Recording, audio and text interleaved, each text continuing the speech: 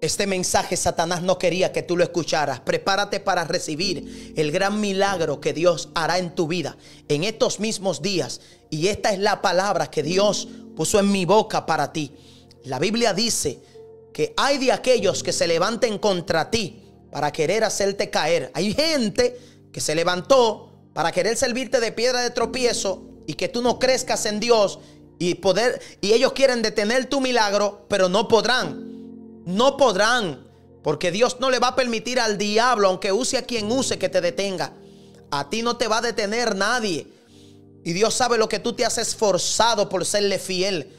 Dios ha visto tus lágrimas de la manera que tú le has llorado y le has pedido, Señor, no me permita, aleluya, que el enemigo me haga tropezar en el camino. Dios sabe. Hay momentos donde tú le has dicho, Señor, no le permita al enemigo que me haga caer, sino que guárdame Guárdame de esas enviaciones. El Señor te dice en esta hora, tú eres mi pequeñito, yo te amo, tú eres el pequeñito de Dios. Hay que entender que Dios no tiene favorito, pero esa gente que se humilla como tú delante de Jehová han sido vistos por los ojos del Padre. Han sido escogidos. Dice la Biblia que Dios te escogió, te seleccionó, te separó. Y hay gente que se deja usar por el mismo diablo para detenerte, para hacerte la guerra. Ellos a veces no te conocen, pero el diablo que hay en ellos, el Señor lo reprenda, te hace la guerra porque sabe quién tú eres en el mundo espiritual. El enemigo que lo usa sabe quién tú eres en el mundo espiritual. Y es por eso que esas gentes se han levantado, pero tú sabes que dice su palabra. Tú sabes que dice su palabra. En Marcos capítulo 9, versículo 42.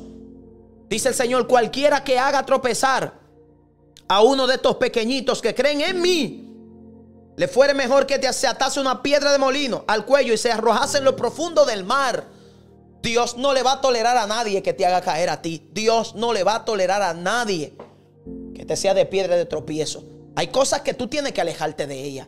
Hay amistades que tú tienes que dejarlas, pero hay otras que han llegado a ti solamente para hacerte la guerra. Hay gente que se te ha pegado solamente para dejarse usar por el diablo, para hacerte la guerra. Pero te vengo a decir de parte de Dios que tú eres su pequeñito. Dios es quien pelea por ti y Él te defiende. El Señor va a limpiar tu entorno y va a limpiar tu camino. Hay gente que se han ido de tu vera. Oye lo que te estoy hablando, te lo estoy hablando fuerte de parte de Dios. Coméntalo, Señor. A quien tú tengas que quitar, quítalo. Si tú crees que me hará caer, quítalo, coméntalo. Si tú crees que hay alguien que, aunque yo lo ame, me va a hacer caer en tu camino, quítalo. Hay que amar a Dios sobre todas las cosas y su palabra lo dice. Ama a tu Dios sobre todas las cosas, con toda tu mente, con todo tu corazón y con toda tu alma.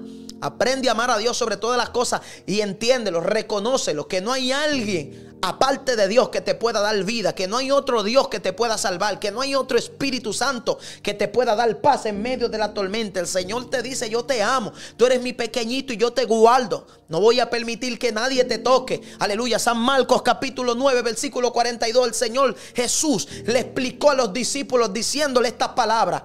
Aleluya. Cualquiera que lo haga caer a uno de ustedes. El Señor sabía que ellos eran, algunos de ellos eran débiles en la fe. Porque el Señor sabe tu debilidad. Y Él conoce las cosas que a ti te gustan y las que no te gustan. Pero también conoce a esa gente que está a, a tu lado para hacerte la guerra y para hacerte caer. Y este mensaje es para esa gente. Aleluya. Así que comparte esta palabra. Alguien lo verá y será impactado porque entenderá que Dios pelea por ti. Entenderá que el Señor te defiende y te guarda. Hay mucha, hay mucha gente que por mucho tiempo te hizo daño, por mucho tiempo te atacó, por mucho tiempo te metió presión, te hizo la guerra. Y ellos piensan que es que tú eres pendejo, que es que tú no sabes dar, que es que tú no sabes hablar. Y ellos tendrán que ver la mano de Dios defendiéndote. Ellos van a ver la mano de Dios llevando miseria, llevando crisis a su vida, llevando, aleluya, caída, porque Jehová pelea por sus hijos. Yo vengo a decirte a ti que eso fue afirmado por Cristo. Aleluya. Cristo dijo en su palabra, cualquiera que haga caer, que te haga caer a ti. Cualquiera que te haga caer a ti. Porque tú eres un pequeñito de Jehová. Tú eres un pequeño del Señor. Señor te ama. Señor te guarda. El Señor te cuida. Como tú cuidas a los tuyos, como tú proteges a tus hijos, Dios te cuida aún más. Porque Él te amó. Antes de tu amarlo a Él primero, Dios te amó y te seleccionó y te separó. Te guardó del mal. Y aquí tú estás sirviéndole, tirando para adelante. Así que no te rindas por nada. Que viene algo fuerte y poderoso para tu vida. Escuche bien lo que le voy a decir de parte del cielo. Dice Dios en su palabra, cualquiera que haga caer a uno de estos pequeñitos, le fuere mejor, oiga, le fuere mejor. Jesús le recomendó a tus enemigos, mejor que se aten, una piedra y se tiren a lo profundo del mar, antes de hacerte caer. Hay gente que piensa que no le va a pasar nada, que te están haciendo la guerra y ellos creen que tú estás solo. Tú no estás solo. Y lo más importante es que tú lo sabes. Mira cómo Dios está cogiendo mi boca para hablarte. Esa obra linda que yo puse en tus manos florecerá. Esa familia tuya va a florecer. Hay gente que está intentando derribar tu familia, que está intentando derribar lo tuyo. Y el que derriba lo tuyo te está queriendo derribar a ti, porque te duele, es tuyo. El que te quiere quitar lo tuyo está intentando derribarte, porque sabe que quizás esa es tu debilidad, tu familia, tu pareja. Esa mujer que te ha querido quitar tu esposo, esa mujer va a tener problemas. Ese hombre que te ha querido quitar tu esposa va a tener problemas. Porque dice la Biblia claramente, hay de aquellos que haga tropezar. ¿Qué es su tropezadero? Algo que cuando tú le das con los pies te cae. O sea, un estorbo en el camino. Hay estorbo en el camino. Hay estorbo que el enemigo ha puesto para hacerte tropezar. ¿Tú sabes qué dice la palabra? Hay por quien viene el tropiezo. Jesucristo lo dijo. Hay de aquello que haga tropezar. Y yo digo, hay de aquello por quien venga el tropiezo. Eso lo dice su palabra. Hay de esa gente que se levantó en tu contra sin tú nunca hacerle nada. Hay de esa gente que por tanto tiempo te hizo tanto daño sin tú nunca hacerle nada. Hay de esa gente que te están pagando mal por bien. Que tú siempre le abriste puerta, le diste, lo honraste, pero ellos nunca te honraron a ti. De hecho, hablan mal de ti, intentan pisotearte en lo secreto, pero Dios te seguirá bendiciendo en público. Recibe este mensaje. En estos días te decía que hay gente que está intentando pisotearte en público, pero el Señor, el Señor Jehová de los ejércitos, dice en su palabra que Él exalta al humilde. Tú estás humilde ahí esperando en Jehová. Y hay gente que piensa que es que tú no sabes pelear, que es que tú no sabes abrir tu boca. Lo que pasa es que tú le has dicho, Señor, yo quiero que tú pelees por mí. Y Dios ha moldeado ese carácter en ti. Entonces, como Dios ha moldeado ese carácter en ti, lo que viene para esa gente que te quiere servir de piedra de tropiezo y para esos demonios que se han levantado contra tu familia, contra tu vida, contra tu hogar, tendrán que ver cómo Dios te va a defender. Y llegará un día donde Dios te llevará al campo de guerra, no para que tú muevas un dedo. Tú no vas a tener que mover un dedo. Solamente Dios quería ver tu valentía y eso es lo que tú has demostrado. Porque valiente no es aquel que saca un, machete que se defiende él. No, valiente es aquel que espere en Jehová y que deja que Dios pelee por él. Porque eso fue lo que Dios, de esa manera fue que Dios no instruyó. Deja que yo pelee por ti. Esa gente que te quiere hacer caer, tranquilo, sígueme siendo fiel. Desenfócate de esa gente. Eso te va a hacer crecer, pero yo a ellos lo voy a latear. Las palabras son fieles y verdaderas.